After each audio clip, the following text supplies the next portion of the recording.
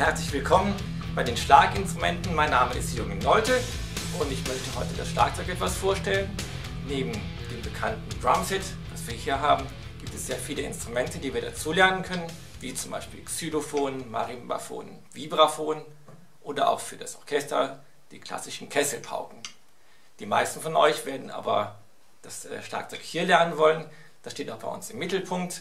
Alle weiteren Sachen können wir optional dazu machen.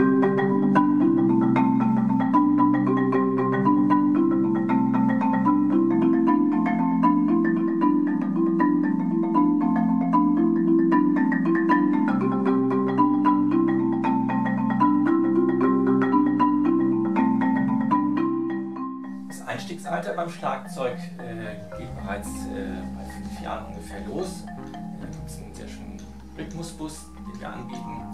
Danach geht es natürlich dann äh, ans normale Schlagzeug. Äh, das ist ja das, wo die, die meisten von träumen. Um das aber richtig äh, zu lernen, werden wir natürlich auch die richtige Technik lernen. Das geht mit der kleinen Trommel sehr gut, dass wir als Einzelinstrument lernen, aber auch mit Percussion-Instrumenten. Da ist ja auch die Instrumentenvielfalt sehr groß. Neben Kongas, Bongos gibt es die verschiedenen Maracas, Triangel, Klanghölzer. Gibt es äh, ein großes Betätigungsfeld. Und dann Mellet-Instrumente, Pauken, Drumset. Einsatzmöglichkeiten sind beim Schlagzeug auch sehr groß. Wir können natürlich beim klassischen Sinfonieorchester, wir im Jugendsinfonieorchester der Musikschule mitspielen oder in der Musikschulband oder beim Musical.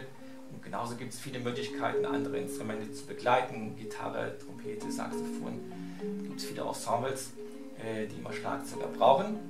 Und wir haben noch bei der Musikschule das Percussion Ensemble. Da spielen dann nur die Schlagzeuger zusammen und es werden möglichst alle Instrumente mit einbezogen, die es im Bereich des Schlagzeugs gibt.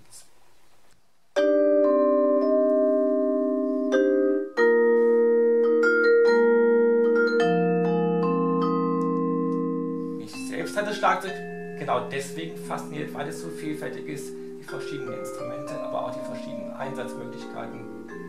Ähm, von der Lautstärke her wäre noch zu erwähnen, dass es für das Schlagzeug auch äh, Übpads gibt, die man drauflegen kann, dass man zu Hause leise üben kann.